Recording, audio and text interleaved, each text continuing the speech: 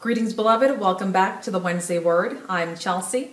Beloved, today I would like to share a dream with you that I had this morning around 4:35 on June 13th, 2019.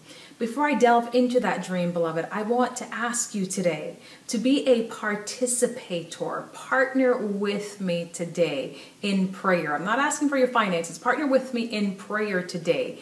Don't just be a spectator. Be a participator. Be a participant. If you're coming just to hear a word or just to have your ears tickled, it really is a disservice to you. You need to participate. It's better to participate. I'm asking you to participate in prayer. It's better to participate than just to spectate or be a bystander. This is a dream the Lord gave me concerning the USA, the United States of America, and China for 2019, one of the things the Lord said would happen was that there was going to be an increase in the prophetic and an increase in the supernatural. I've seen those things take place in my own life. The Lord made me some specific promises, things that I've seen increase precept upon precept here in 2019. But very recently, the Lord came to me and said, It's time to now increase more in this area. Are you willing? I said to the Lord, Yes, Father, I am willing. And the Lord then said to me, Are you willing to pay the price? And I said, Yes, Lord, I'm willing to pay the price. The price that the Lord spoke to me about is the price of prayer. The Lord showed me that there were going to be times when He would reveal things to me that would require me to immediately start in prayer, to immediately get up out of bed and start praying. Such was the case, beloved, this morning. The Lord came to me with a revelation, and that required is getting up out of bed and getting into prayer. The word that I had to share with you today is a clarion call, which requires us to pray as we begin to increase in things in this season with the Lord, the things in the prophetic, the things in the supernatural, the Lord is calling us to prayer. You don't have to have a title to pray, beloved. You don't have to be a prophet. You don't have to be an apostle, an evangelist, a teacher, a preacher. You don't even have to have the title as an intercessor. If you are a child of God, that makes you a prayer. So take on that title as a prayer to pray out the will of God, to pray out the plan of God. When God gives us dreams, beloved, it's to bring revelation, but it also usually requires some form of action. And the action that's required today is praying. The revelation the Lord gave me in this dream, beloved, was concerning the USA, the United States of America, and China. I'm not going to share all the details of the dream, but I will share what I'm permitted to share today. In this dream, beloved, the Chinese army came into the United States of America and they went into a certain state and they captured a certain area in this state. They took United States citizens and residents into captivity, in bondage, into a camp. A lot of things went on in this camp. I'm not really going to go into too much detail there. But one of the things that I saw happening in the camp as I was there also was that the Chinese army gave candies like Halls to the youth, to the small children and older children in the camp. And these candies were actually poisonous. As the children put the candy uh, in their mouths and began to suck on them, it was poisonous to their bodies and was killing some of the children. So we were going around pulling these candies out of the mouths of the children, pulling these so-called sweets out of the mouths of the children and helping them to survive. A lot of things happened in this camp. Unfortunately, there were some casualties. I remember, beloved, when I was in the camp, I said to myself, Where is the army? And then I said out loud, Where is the United States Army? Why haven't they come to rescue us? I heard this man then reply, The United States Army is busy. They're too busy to come and help. And he said so sarcastically. So a lot of activities went on during this dream, beloved. Things happened, some very unpleasant things. But then at some point, the Army took us, United States residents, and uh, United States uh, citizens. The Army of China took us outside of the camp, outside of the compound, where we had to go and pick figs and leaves, different things that they were requiring us to sustain ourselves, to feed ourselves with.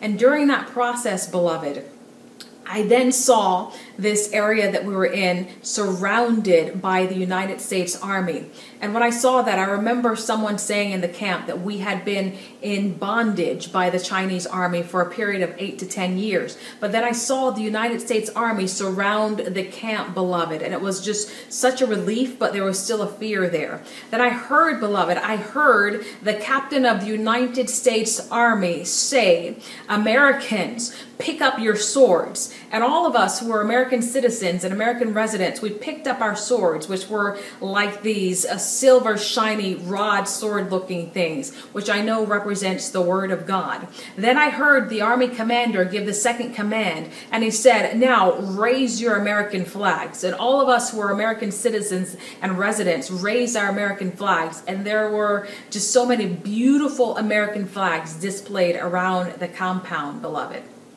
that represents freedom. The United States represents freedom. When you see the flag, it's a symbolism of freedom. It's also a symbolism of unity unity in prayer, but also unity as a nation. Then, beloved, I heard the United States Army commander give the third command, and he said, Now pray to God and ask for forgiveness because we are about to go into war and there will be casualties. So we prayed. We prayed to God and asked God to forgive us as we engaged in war, in the battle. And then finally, beloved, I heard the captain of the army give the fourth command, and he said, Now engage in battle because we will defeat the Chinese army. So, beloved, here we were, citizens of the USA residents of the USA. We had our swords, our flags were out, and we had our swords, and we began to go into battle with the Chinese army. Even the children were battling with their swords, beloved, and we defeated the Chinese army. I remember just rejoicing because I saw so many children there, so many youth that were also a part of this who I was afraid that they wouldn't get away. I was afraid that they were too small to fight in this army. I was afraid that they wouldn't know how to use a sword, but they did. They wielded those swords, beloved, and we defeated the Chinese army. After that took place, beloved, I remember looking around once more as we were outside of this compound. I remember looking around and I saw this vehicle, which I'm not going to name now, but I saw this vehicle which identified for me what city uh, we were in and what specific location we were in. And I thought to myself, how could this happen here? How is it possible that this happened here? This is supposed to be a happy place. This is supposed to be a safe place. So the place where it happened was very much unexpected. It was a place where people were always happy, where people would go to have a good time. It was a very much unexpected place for such an attack to happen, beloved. But the final word on this is that we overcame the enemy. We triumphed. And beloved, as I woke up out of this dream, my eyes went straight to the clock, which was glaring 444. And I knew that this dream was and is a clarion call. God gives us dreams, beloved, so that He'll show us revelation, of course. He wants to show us His plans. He'll also reveal the plan of the enemy. But the ultimate purpose of it, beloved, is to have that revelation so that we can pray out the plan of God, so that we can cancel things from happening. I want to ask you today, beloved, to not be a bystander, but to be a participant. We need to be praying for the USA. We need to be praying for China. We need to be interceding for all the nations of the world. Some things we know have to happen, of course, to fulfill the scriptures. But some things, beloved, God gives us the authority to intervene in the realm of man to cancel certain things. That's why He gives us these dreams to pray, beloved. If you call yourself a child of God, a born again believer of Jesus Christ, I'm asking you today, beloved, to pray, to intercede. Pray for the United States of America. Pray for China. Pray for peace. Pray for the relations of the United States of America and China. The Lord says in His Word that it is not His will that any should perish. The Lord wants all saved. That's our duty. That is our clarion call today is to pray for China, to pray for the United States of America, to pray, beloved.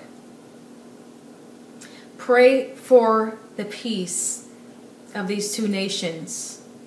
But also pray in your heavenly language, beloved, because the Word of God again says that we don't know what we ought to pray the Spirit of God, the Holy Spirit, makes intercession for us. So pray in your heavenly language. That way, we're praying out the direct plan of God. We know specifically what to do because the Holy Spirit knows what to pray, and the Holy Spirit will pray that through us. See the United States of America and China as you're praying. See that in your mind. See how God is bringing those things together. See how God is bringing peace together. See how God is working things out with these two nations as you pray. You should always pray with a focus, especially when you're praying in tongues. You don't just want to be praying just to pray and praying on autopilot. You need a focus. You need a focus, beloved. I hope I can count on you, beloved. I hope you'll say, Yes, count me in. I will do this. You serve a purpose. I spoke on uh, Sunday about the Lord just wanting to ignite some of you that it's time for you to step out. For some of you, it's that you've been called to be an intercessor. It is time for you to step up and start interceding, praying out the plan of God, praying out the will of God. And for all of us, we should always be praying. We should always be interceding. Maybe not as much as an intercessor, but definitely when the Lord gives that clarion call, it's time for us to come together in unity as the body of Christ. Because when we pray together, especially when we pray in the Spirit together on one accord, things happen. Mountains are moved. The plan of the enemy is demolished. The plan of God comes to full manifestation. And that's what God has empowered us with today, beloved. Those tools to pray together in unity as one body, the body of Christ, to see his plan come forward in this time, in this day. I'm asking you, beloved, not just to pray for today or to pray for tomorrow, but continually pray concerning this until you get a release from the Father in heaven. Beloved, thank you for tuning in. God loves you. He wants you to be a part of this. He wants you to be a part of His end time army. If you are a born again believer, you are a part of the end time army.